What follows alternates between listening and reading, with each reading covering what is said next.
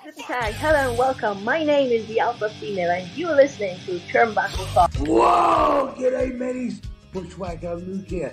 2015 Hall of Famer. And you're listening to Turnbuckle Talk. Yeah! Whoa! This is pro wrestling's only modern day Viking Gunner, and you're on Turnbuckle Talk. Hey, this is Nick Magnus Solis, and you're listening to Turnbuckle Talk. Hi, this is Leva Blue Pants Bates, and you are listening to Turnbuckle Talk.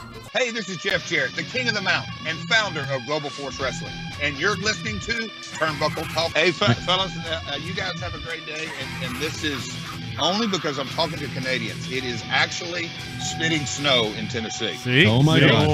That's a great. We've had, we've, we've had 70 degree weather here. For, I mean, we really had a warm December, and I get on the phone with damn Canadians and we're spitting snow. So.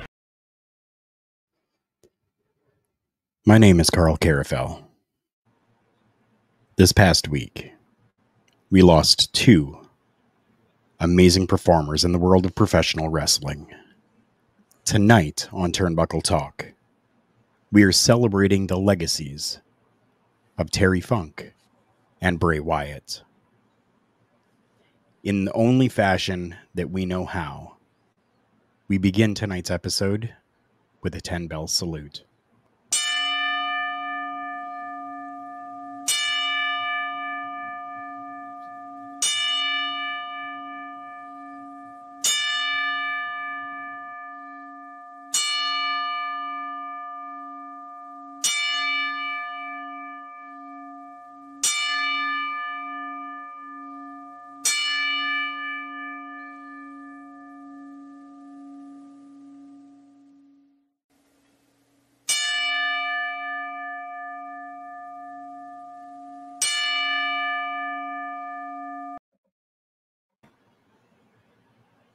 Thank you for joining us for that 10 bell salute in honor of these two great men that we will be talking about tonight.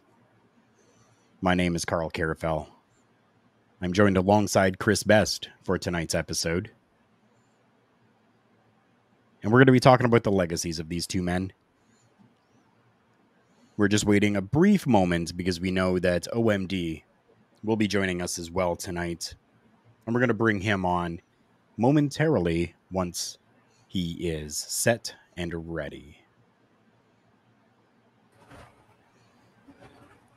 And OMD Yeah. is now with us. Thank you so much. Chris, how are you feeling right now?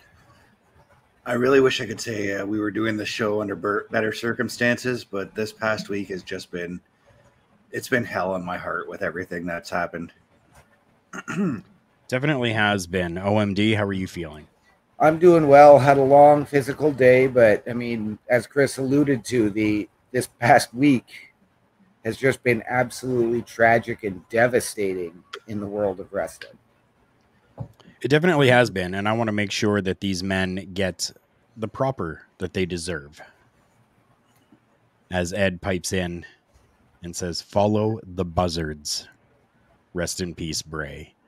Definitely. Yes. Uh, we we all followed the buzzards. Yes. We were all fans of Bray Wyatt. We were all fans of the Fiend. We were all fans of uh, everything that he did, whether it was in NXT, whether it was in uh, the main roster, whether it was with the Nexus, with FCW, with the Wyatt family. As the champion, the WWE champion, the deleter of worlds, the Firefly Funhouse segments, and the Fiend that he did and then the final return that we did get to see. Very very little bit of but we did get to see that with the uh, the wyatt six as they were calling things for a little while. We, i know we definitely have a lot to talk about with bray wyatt and we're going to leave that for the second half of this segment before that i want to talk about a man who um, almost revolutionized the world of hardcore professional wrestling, one Mr. Terry Funk, working with uh, Western State Sports Championship Wrestling from Hollywood, All Japan, the WWF, the WCW, International Wrestling Association of Japan, Eastern Championship Wrestling that turned into EC Dub. returned to the World Wrestling Federation, Extreme Championship Wrestling, back to WCW, doing independence, the NWA TNA returns to the WWE as well as independent scene. The man did so freaking much in his career. And I think they Yeah. alluded to what was it, 50 years Yeah. of work inside the ring. Man, what a testament. right? So mean, Terry Funk right is his actual year, name. right? Yeah, Yes. yeah, he was even working up until last year. yeah. Yep. Even amid all his health issues with his liver, his kidneys, all of that. right he he didn't he didn't quit he was one of those old school guys that just continued on no matter what hassan thank you so much for coming in appreciate you if you have any memories of uh, terry funk or bray wyatt that you would like to share with us please do in this chat and we will make sure that those get put up on screen now when we when we talk about terry funk um, this is something that that I decided to do, and I put it out there to everybody in social media to uh, give us their memories. And I, I got I, got three uh, three people that uh, that responded, but this is how we're gonna do it tonight. So the first one for Terry Funk. Terry Funk may very well have been the greatest wrestler of all time, solely for the reason that he elevated every single wrestler he worked with or wrestled with. And that comes to us from uh, Joe via Facebook. Um, I don't know. What do you What do you guys think? Do you Do you think? Uh, I I agree with that. I 100 percent I do. I, I think. One thousand percent agree with that. I I brought it up last night about Terry. Um, if it weren't, and I said this, if it weren't for uh, his matches with the New Age Outlaws when he tag team alongside Cactus Jack, the New Age Outlaws would not be where they are today. Mm-hmm. Right. Um, I didn't really know a whole lot about Terry Funk's early career. Right. Um, I do remember him vaguely in ECW. I remember him more from his WCW. I Okay. remember him from WCW two tag teaming with one Bunkhouse Buck. Mm. Yes, yes. Um, but again, that was sort of WCW, and I was I was probably more interested in the younger guys or even a DDP as opposed to watching Terry Funk. Now, when he came to the WWE as Chainsaw Charlie, and he and Mick Foley brought him out, and then they had their matches. They became a tag team Right. and as Chris alluded to, pushing the New Age Outlaws to where they are. Um, and as we've all alluded to, his continuing to work this last year or two amid all of his health issues, Right. and whether it was in the ring or going to the conventions and signing an autograph. Oh yeah, like him working those conventions was absolutely fantastic, and he did it Oh, yeah. very, very often. Yes. Hassan uh, does have something, uh, you know, to kind of give us here as well on Bray. Says, uh, "Yes, I do. He got COVID uh, and got a heart attack, and it made me sad. So he's in the grave and passed away." Yeah, and that's, I mean, that is exactly what happened with Bray. Um, Yeah. We are receiving those reports now that he Yeah. did. Uh, it's have- confirmed his funeral is tomorrow. Yes. Yes, it Mhm. is. For me, Terry Funk, um, I remember mostly from ECW. Uh, Yeah. We're looking back in like the 1993 time and era back, you know, Eastern Championship Wrestling into ECW, um, where, you know, 1997, Terry Funk actually became the ECW World Heavyweight Champion by taking that from Raven at the barely legal pay per view that they had in I have that pay per '97. view on. I have that pay per view on DVD because they uh, released that as a special edition with uh, One Night Stand in 2006, I believe it was. Nice. And you see, for me, that's that's like I loved that. Raven was is a great person, great wrestler, everything, right? But for me to see Terry Funk do that, I was just like, this is Yeah. absolutely amazing right now. And and Terry Funk is one of the reasons why I embodied the character that Yeah. I did when I was working in the wrestling ring as the extreme Canadian Karl Karufel because Terry Funk was this southern boy. He was an extreme southern boy who did hardcore professional wrestling. And Yeah. that's uh, kind of what I wanted to embody. And uh, I, I think I did for the most part. Yeah. But yeah, So- like that's, yeah, yeah. So another thing I wanted to allude to, my it, it actually goes to my earliest memory of Terry Funk, and I always said my first show I've ever remembered watching wrestle was WrestleMania two. He was on that show, but I don't remember him. uh, You know, being a, I don't remember being a child and watching him then. Right. But um, my first memory of him, uh, and this goes back to the comment that we put up before about how we put over younger guys, was Mhm. uh, the tag te- a tag team match he had. It was at a Clash of the Champions, the same Clash of Champions where the Butcher attacked Hulk Hogan before his title defense against Ric Flair that night. Okay. And uh, on that show, he teamed up with uh, Bunkhouse Buck to take on Dusty and Dustin Rhodes. And Dustin was in the middle of a fair sized push at the time, and Terry put him over. Okay. And Don't and Dustin was still in his rookie years at that time. Interesting. That's that's pretty cool. OMD, do you have any other like memories of uh, of Terry Funk from maybe more recent days that you can remember? Uh, from more recent days, the probably the like even the earliest memory I have of him was coming out on WCW when he had his major announcement and he came out and announced it's a girl because he was about to become a grandfather for the second time around. Okay. Um, but I mean, to hear, you know, how much he epitomized hardcore being hardcore before ECW, before the New Jacks, before the Ravens, before the Sandmans. right. And, you know, maybe he should have been labeled as the true innovator of violence. Maybe, maybe so. I I I definitely think that that moniker could definitely go for him. JJ, thank you so much for coming in. I appreciate you. We're gonna get to your comment here just a moment.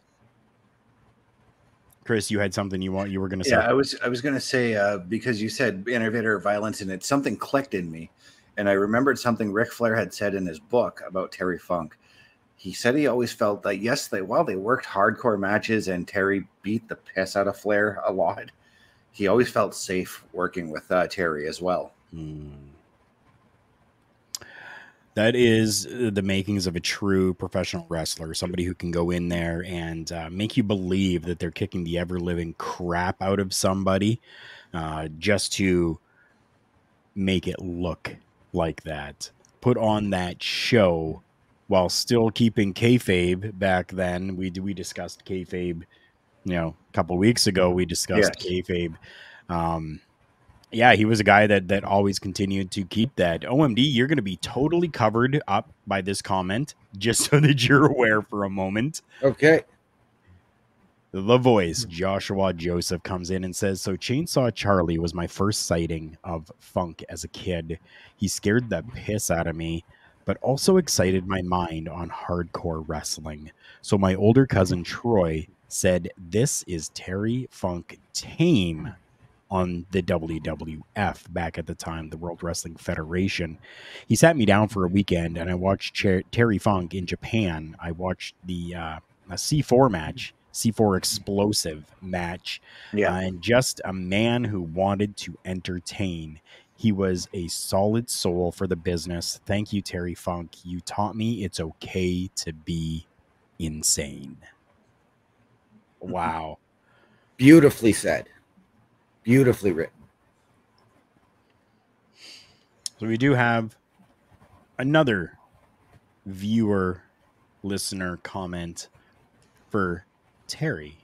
Terry Funk. This one says Terry Funk versus Cactus Jack.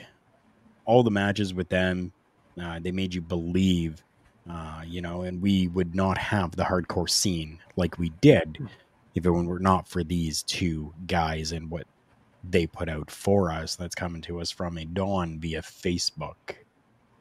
So, yeah, like hundred percent Jeez. agree there as well. Mick Right? said that himself in the book as well, in his book. Yeah, definitely. If it wasn't for them, I don't know that we would have hardcore like we have. Right? Mhm. In in okay, I'm gonna say in mainstream. Right. right? Right. There's still there was always companies that were doing insane shit, doing crazy things, doing this hardcore style. But these two, I think, really pulled it all together to be able to to make it hardcore, but still keep it mainstream. And then, especially when they had their times in the WWF or the WWE, whatever you want to call it, you know, working together, Chainsaw Charlie definitely 100% was a character that was just absolutely insane, but made it work and made it Yeah. relevant enough to be on television. Yep. Yeah. And I got to say, the last hardcore match I watched Terry Funk wrestle was the tag team hardcore match where he, uh, Tommy Dreamer, and Beulah McK- McGillicuddy took on Mick Foley, Lita, and Edge at One Night Stand 2006.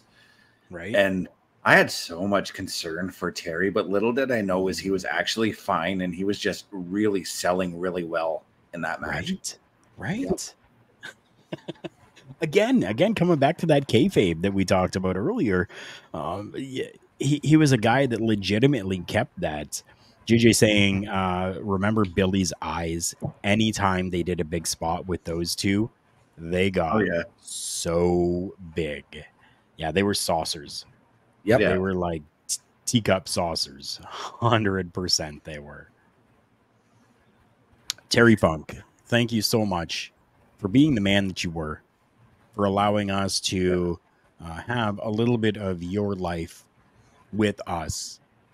And all of this stuff is still out there for people to be able to, uh, you know, take a look at and see.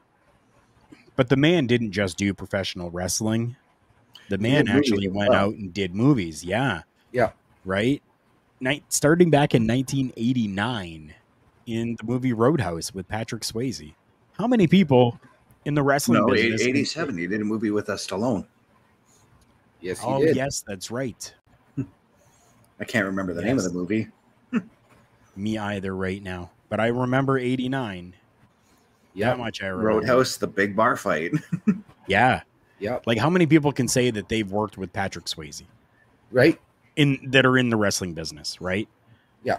I was actually thinking about this the other day too, uh, because I noticed in uh, watching No Holds Barred, Stan Hansen's character was a lot like how Terry Funk was in Roadhouse. If Stan Hansen couldn't do that role, I would have picked Terry Funk for sure. Right?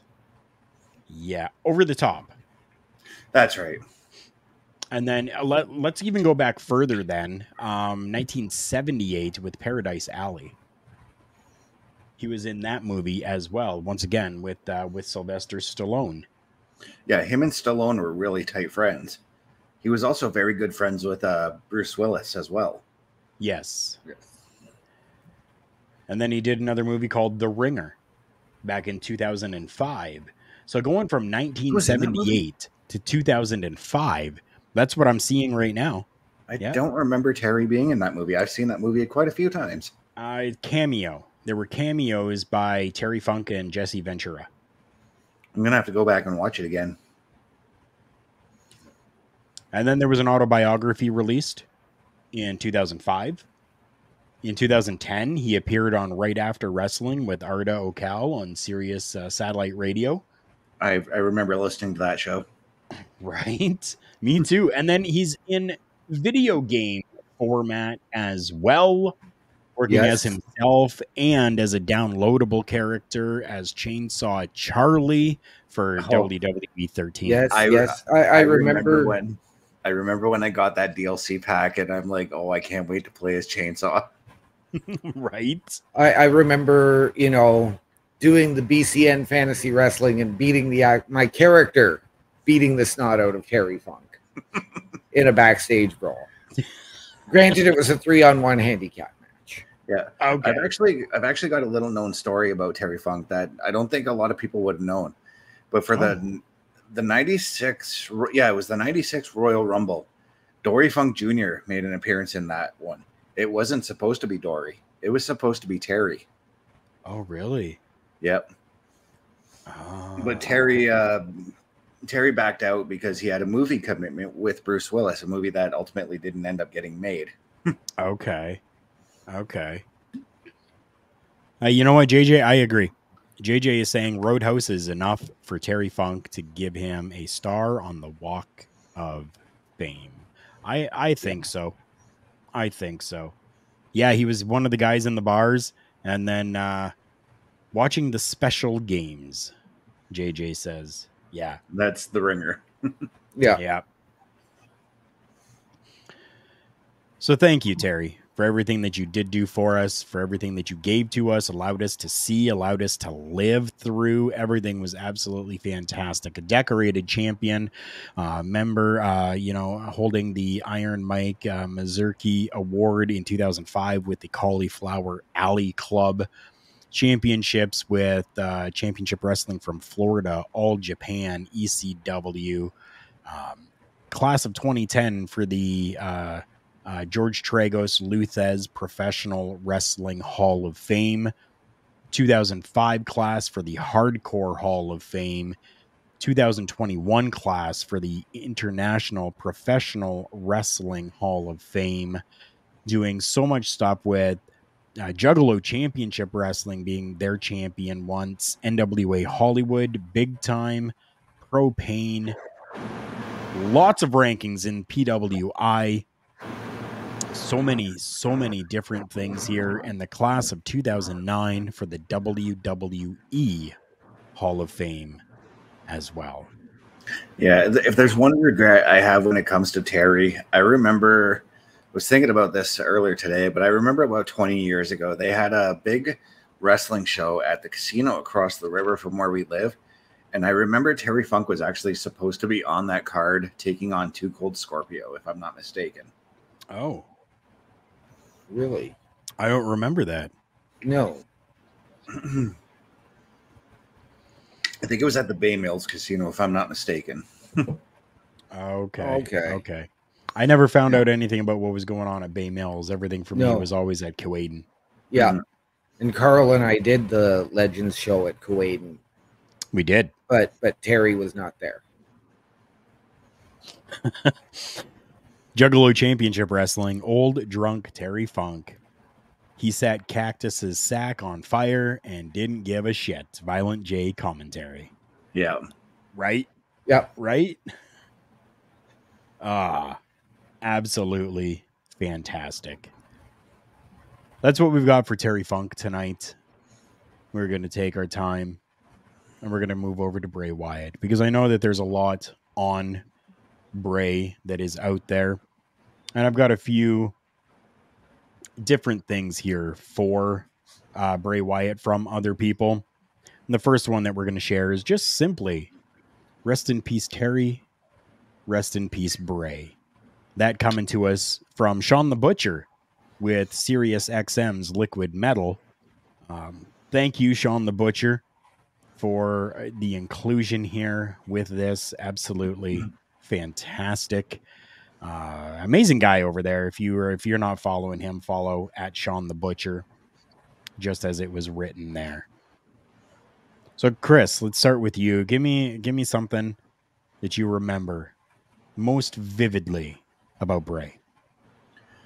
his overall presence just the way he always carried himself like he he always looked like he was bigger than god and that's what i loved about him coming to the ring every time he came to the ring i would sit here complete silence just soaking him in soaking in his character everything he did listening to every single word he had when he cut a promo Right. OMD. Again, the same as Chris, just watching, listening, captivated. I remember the first time I saw the Wyatt family on NXT. And I was thinking, what is this? Like, because I had no idea. And at the time, I mean, I wasn't impressed. I believe that was a Harper and Rowan match. Um, but the way they were able to go all in their separate directions and come back, and the Wyatt family hadn't changed. Right. Right. That was absolutely amazing. For me, my biggest takeaway with Bray Wyatt, and that's something that I think I'm going to uh, remember for the rest of my days on this earth, is his ability to connect through any character that he chose to be. Yeah, because even Absolutely. even as Husky Harris, I was still enthralled with watching him wrestle. Granted, he was Yeah. very vanilla with that character. Right. I remember my first the first time I saw him wrestling as Husky Harris, and I'm like, he's going places. This guy.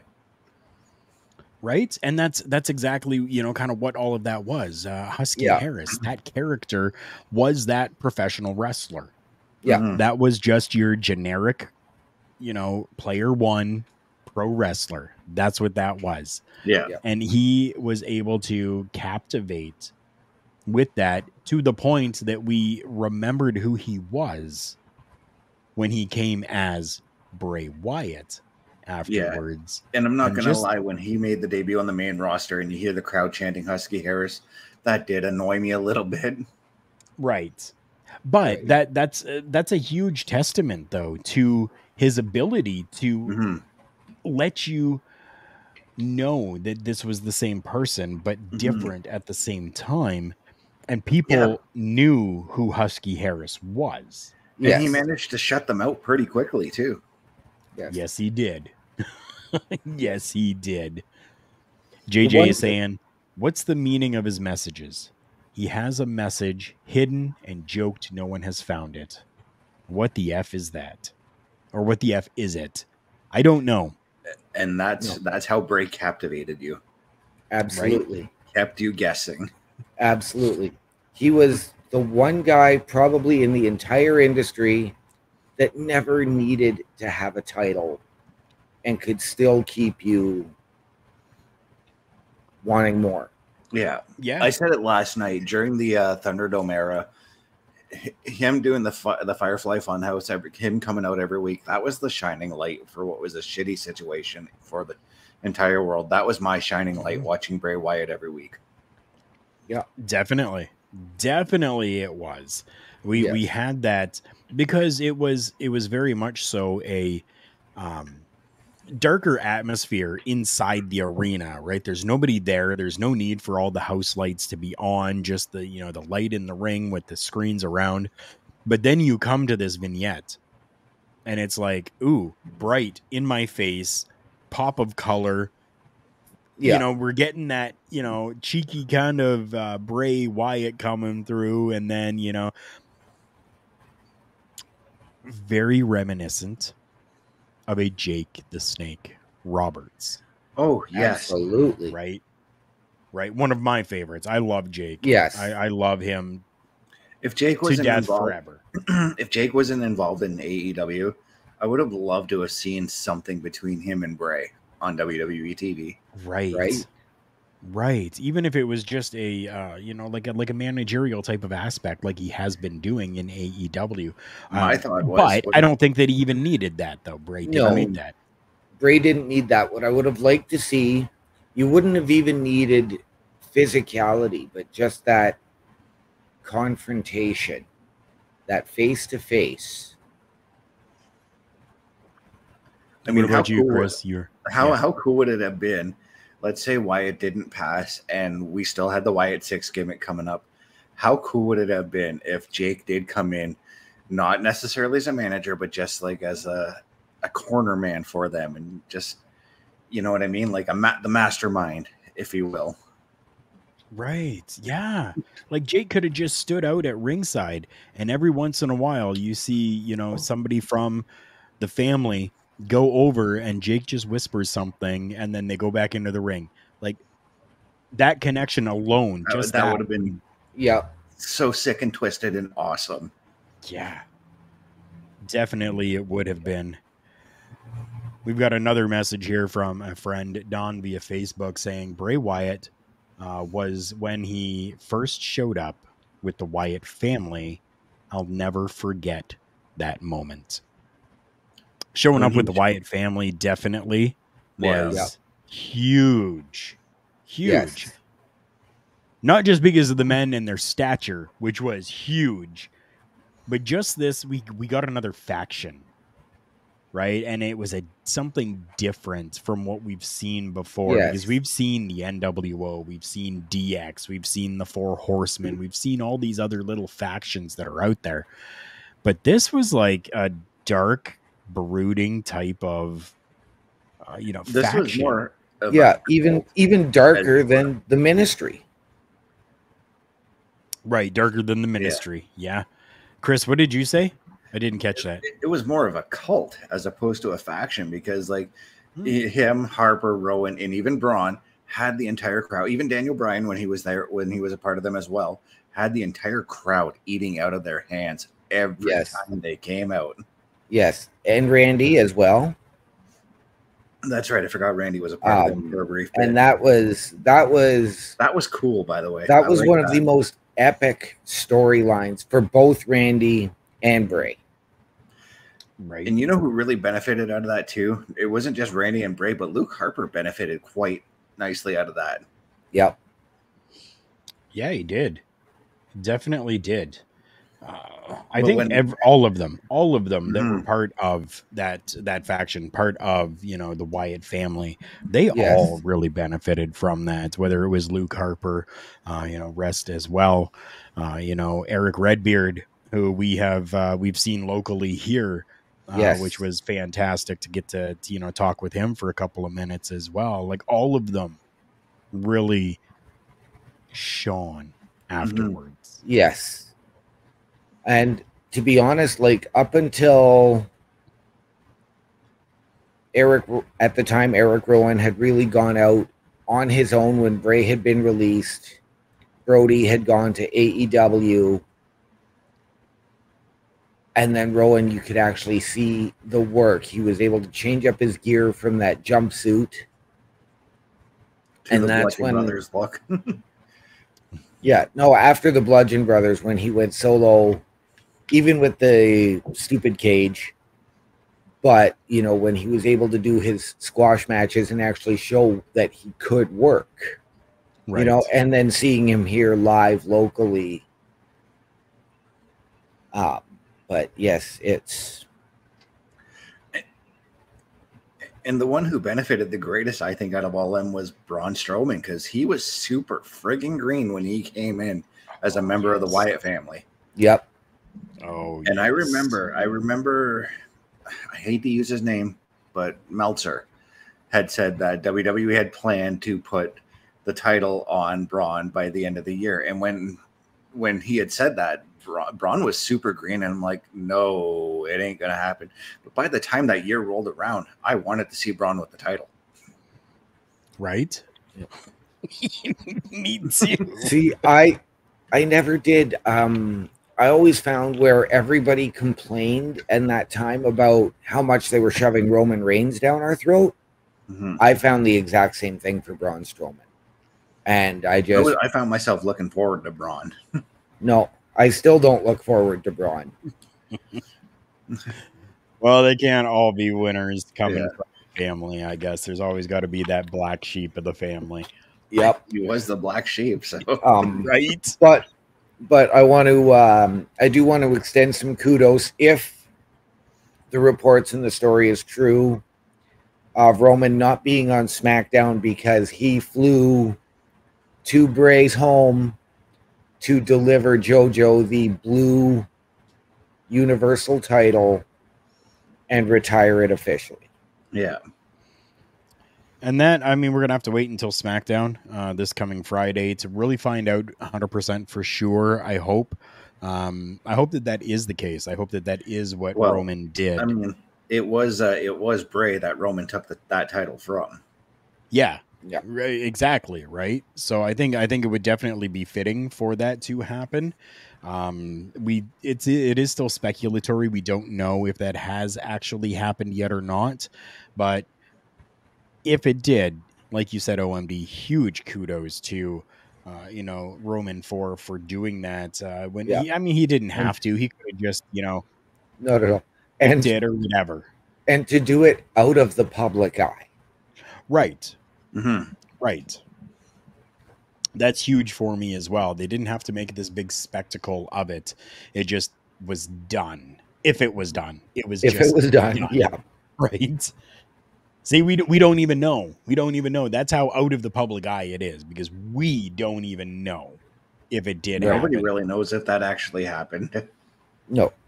Not yet. Not yet. But I'm sure we will find out. Yes.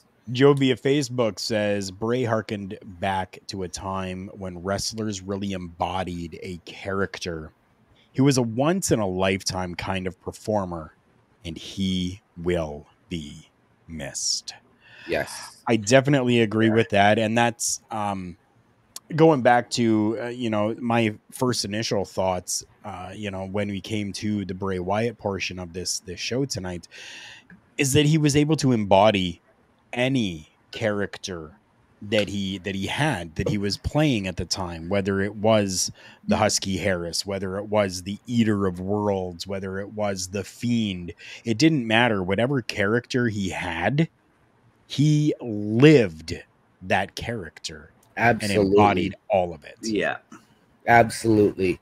And I know like we've all heard it before from numerous reports, you know, how much they compared Bray Wyatt to the Robert De Niro character in Cape Fear or Dan Spivey as Waylon Mercy. Yeah.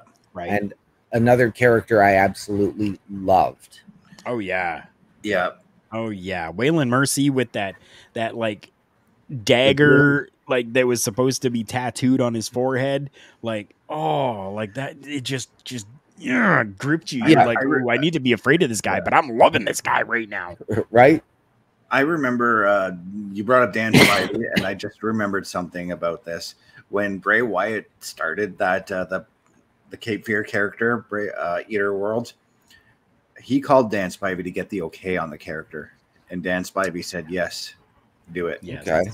Bray Wyatt laid it all out how he was going to do the character, and Dan's like, "You got it, do it." Yep, I I did I did hear that as well. This one's a little bit of a longer one, but this is from our friend Jordan via Facebook again. He says the nightmare, the horror, the eater of worlds, the fiend.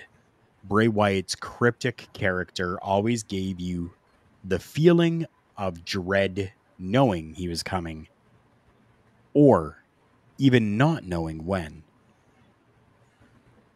it saves or it gave a more terrifying feel to what others have tried to do. Still, the best thing he did when coming to the ring was the Bray Lantern that was so eerily cool to see. And I was not able to get a picture of that that I that I felt was okay enough for because I did all of those graphics up for us tonight uh, of the when the mask was on the lantern because that was absolutely fantastic as well. Yes. Oh, but yeah. just the lantern itself. Yes. To this day, after seeing everything that Bray did with that, I still, if I have a lantern around somewhere, I'm grabbing that thing and I'm. Yep. I don't care. Here. I don't care. I Uh, have since then, and I always will now. I'm going to remember this when I went to Columbus for my first concert festival in 2014 and I went solo. I arrived in Columbus, I got to the hotel, and my Facebook status was Columbus, I'm here. Blows out electric lantern. nice. Um, and, you know, to realize Bray's family and the legacy his family has left, going back as far as, I mean, probably even further back than the Horsemen to the original Blackjacks. You know, how he didn't try to carry on the Rotunda legacy Right. Right. and they didn't try and push Bo Dallas and Bray Wyatt as actual brothers, as actual family. But they also didn't, you know, okay, Bray Wyatt's going to face Bo Dallas here tonight. And then they're going to spoil it by saying, well, they're brothers. They let him be who he is, not Yeah. having to be a second or third generation superstar. Right. And, and that's uh, and that's why Mike Rotunda came back to the WWE in '91 as IRS as well. He wanted to carve his own niche in the wrestling business as, and not be uh, Blackjack Mulligan or Blackjack Windham's uh, second coming. You know. Yeah. Yeah. Lots of great things that we could continue to say about Bray, but I think we're going to leave it at that. We would also be remiss if we did not mention this man as well, a man who had a, uh, a lot to do, even winning one of the WWE Slammy Awards, who also recently passed away at the age of 99, Bob Barker. Rest in peace, Bob Barker.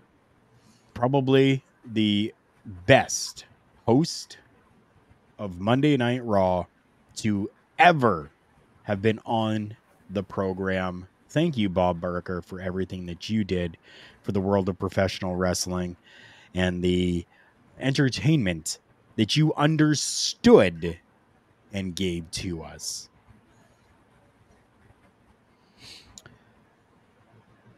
I was debating on whether or not to do this, but I think we will do it anyways.